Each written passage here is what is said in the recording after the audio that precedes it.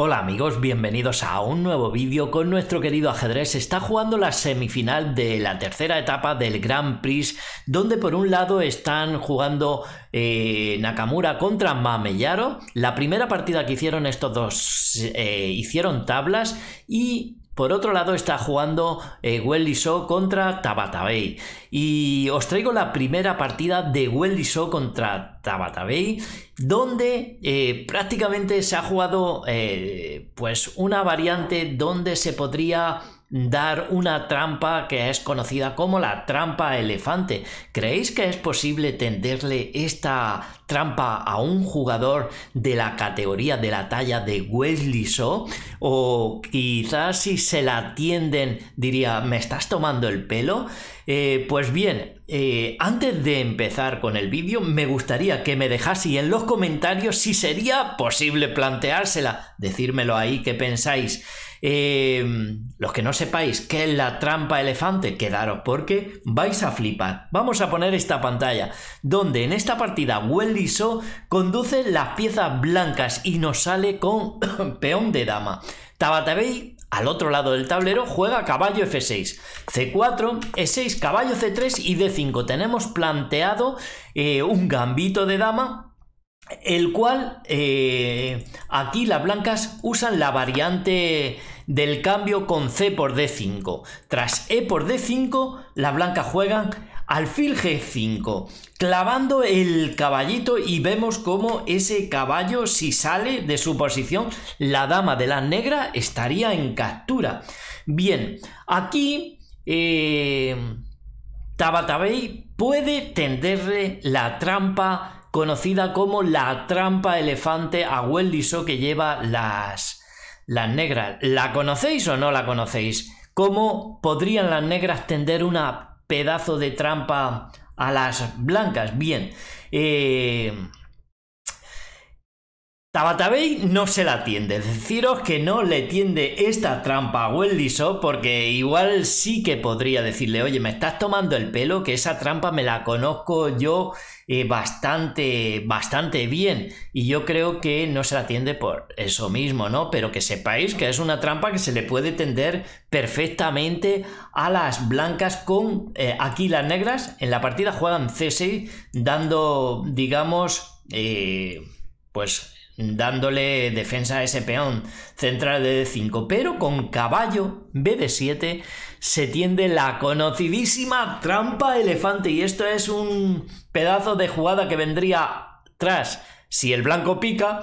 Fijaos, ¿qué es lo que pretende aquí el negro? Pues que el blanco piense, oye, el negro se está dejando un peón. Ese peón se puede capturar porque ahora la dama no lo defiende. Y el caballo hemos dicho que está clavado, la dama está detrás y la blanca estarían tentadísima a zamparse ese peón. De hecho, en muchas partidas se lo han zampado. ¿Y qué pasa? Que esto es una mala jugada. Aquí las trampas, las blancas han caído en la trampa elefante. Y las negras pueden comerse ese caballo tranquilamente diciendo, oye, mm, ¿quieres zamparte la dama? Ya me he comido una pieza. Pero es que aquí las, blancas pierden en toda la variante. Fijaos, si se zampan esa dama, se la zampan. ¿Y qué pasa ahora? Que han caído en la trampa y las negras tienen la jugada alfil B4, jaque. El rey no se puede mover, no tiene ninguna casilla, hay que defenderse con la dama. La única jugada que tienen las blancas es defenderse con la dama y tienen que devolver la dama. Pero no solo eso, sino que van a perder pieza. ¿Por qué? Porque ahora eh, las negras ganan todas las variantes. Si, por ejemplo, pueden ganar capturando rey por D8 y ahora aquí, sencillamente, si dama por B4, sencillamente caballo por B4 con pieza de ventaja. Fijaos que tienen tres piezas de ventaja, tres piezas contra dos piezas de las blancas, por lo tanto una para la negra. Además están amenazando un pedazo doble a rey y torre. Por lo tanto, ventaja de la negra. Igualmente, si también las negras en vez de capturar ese alfil podrían capturar la dama tranquilamente alfil por D2. Jaque, recuperan su, su dama y tras rey por D2 luego ganan la pieza con rey por D8. Es igual, ganan de las dos maneras. Por lo tanto, esta es la conocidísima trampa elefante. Tenedla en cuenta por si os la plantean o la podéis plantear vosotros. Bien, Tabatabey no plantea a Wellison, no le plantea esa trampa. Seguramente conocedor de que no va a caer y tranquilamente si plantean esta trampa podrían jugar con E3 tranquilamente para mm, proseguir con su desarrollo defendiendo el centro eh, y no le plantea la trampa.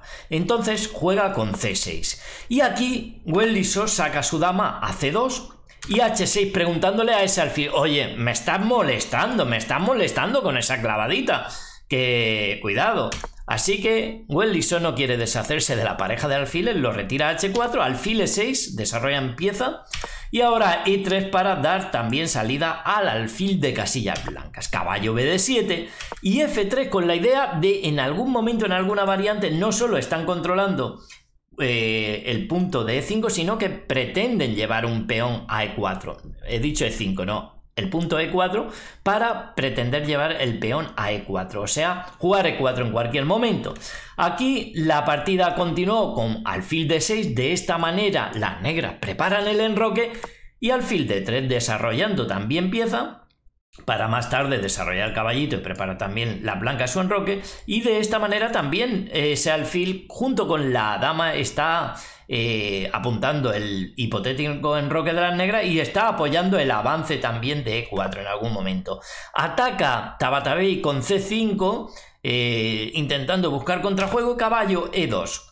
C4 tocando al alfil y el alfil se va a F5 enfrentando los alfiles.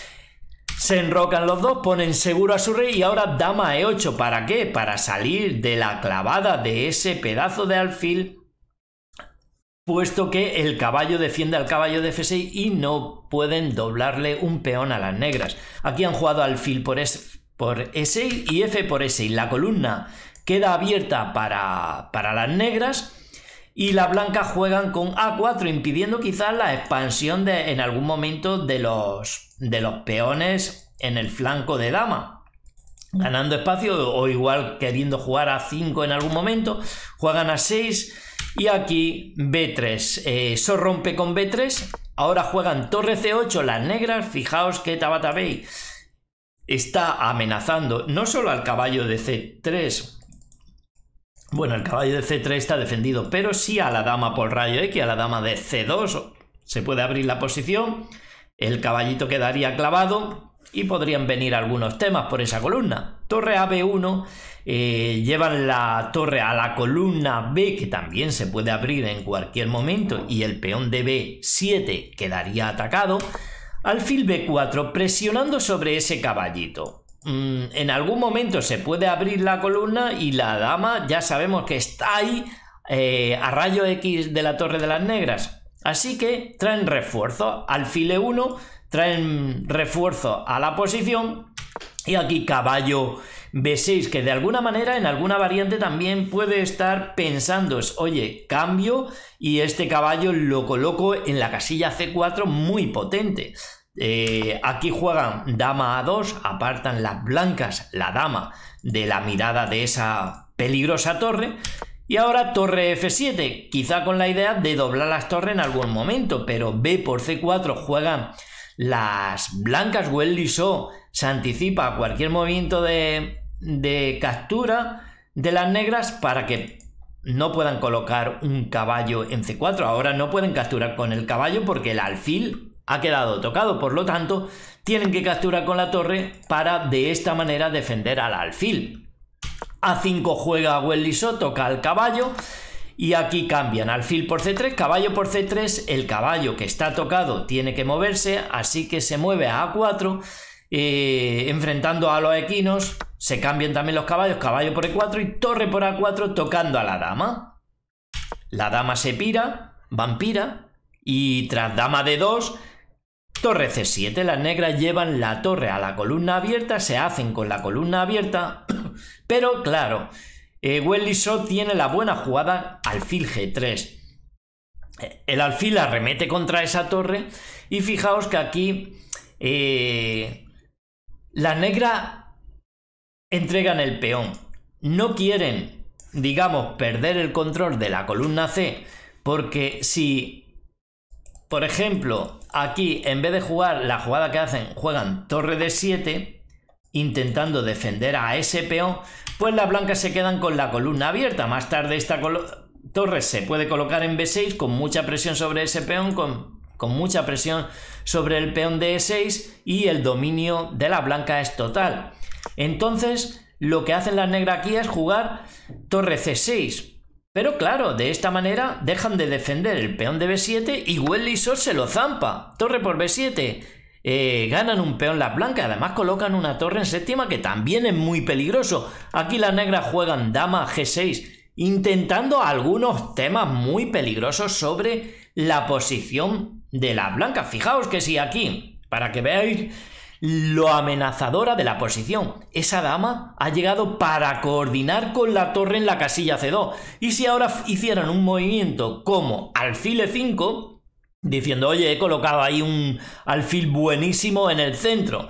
Pues esta es la perdición para las blancas, ya que tienen torre B2 atacando a la dama y tienen que entregar a la dama prácticamente. Ya habéis visto todo lo que, lo que pasa si no entregan la dama, ¿no? Así que parad el vídeo y pensad un momento, ¿qué es lo que pasa si no entregan la dama? Ya de paso, dale cariño al canal, suscribiéndote y activando la campanita, que es muy importante. Muchísimas gracias. Bien, si no entregan la dama y por ejemplo la mueven a D1 para no perderla, vendría un jaque mate con tomate dama por G2.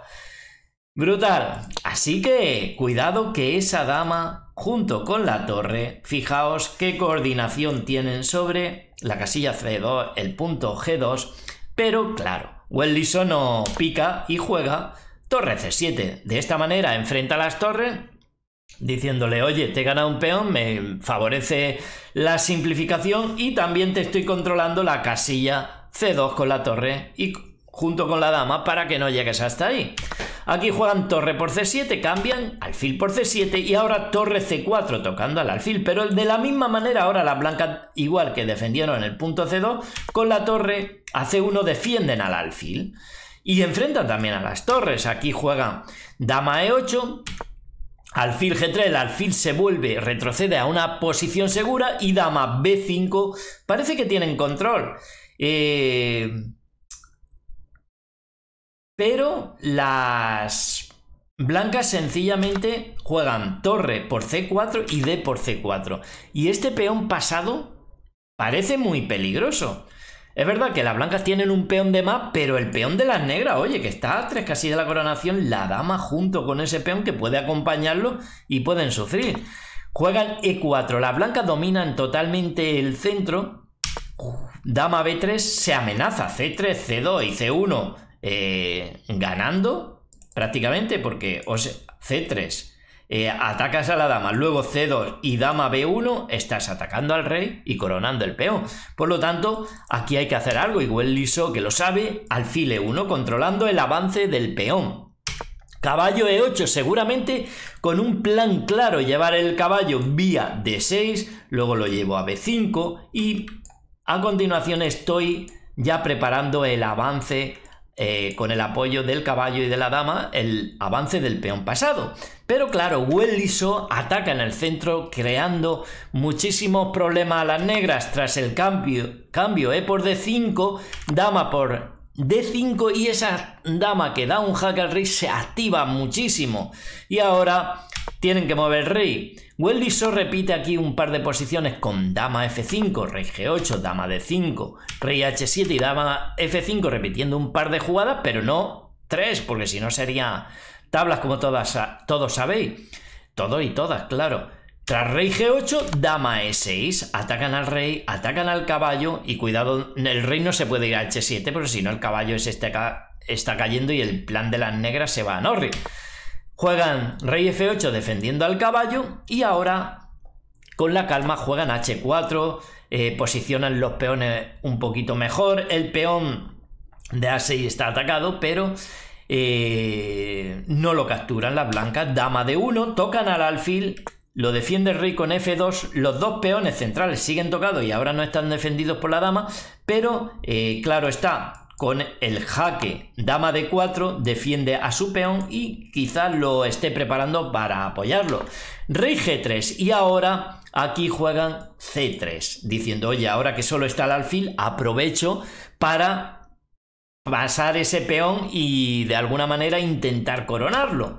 C3 el peón se va hacia la coronación, el peón cabezón quiere ser un cinturón negro de artes marciales, ¿lo deja Welliso? Pues vamos a verlo, porque tras alfil F2 atacando la dama, en este momento Tabatabey se rinde, pues pierde en todas, todas las variantes. Fijaos que si aquí, por ejemplo, intentan una jugada como dama de 2 para a continuación eh, pasar el peón y coronarlo, vendría sencillamente alfil c5, jaque, el rey ese no se puede mover y las negras tienen que entregar todas las piezas. Caballo d6, alfil por d6, sigue sin poder moverse, entonces hay que entregar la dama, dama por d6. O sea que no sirve dama de 2. Tampoco serviría del, de la misma manera una jugada como dama b4 tocando ese peoncito, porque tras la defensa del mismo de las blancas ya amenazan grandes cosas. Fijaos,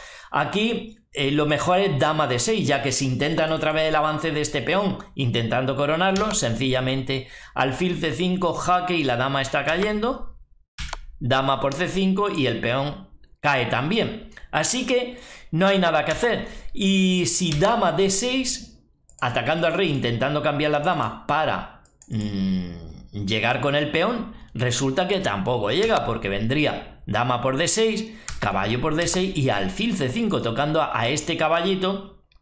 Y realmente aquí van a parar en todas las variantes eh, a ese peón. Si, por ejemplo, acercan el rey aquí, pues e5, eh, este peón siempre se va a parar, el caballo está en el aire, está clavado. O sea, E5 gana de inmediato. Si intentan avanzar el peón de inmediato con C2, pues vendría alfil por D6 jaque y una vez muevan el rey, el alfil le da tiempo a parar el peón. Pues un partidón de Welliso donde no, no cayó. Bueno, no cayó, no, que no le plantearon la trampa elefante porque no, no iba a caer, pero quería que supieseis que esa trampa estaba ahí. Espero que os haya gustado un montón el vídeo. Eh, si ha sido así, no olvidéis apoyarlo con un me gusta. También en la descripción del mismo estoy dejando el enlace a la página web de chess.com para que os registréis y podáis jugar al ajedrez. También todas mis redes sociales. Y sin nada más, por aquí os dejo otro par de vídeos que sé que os van a encantar. Un gran saludo para todos amigos.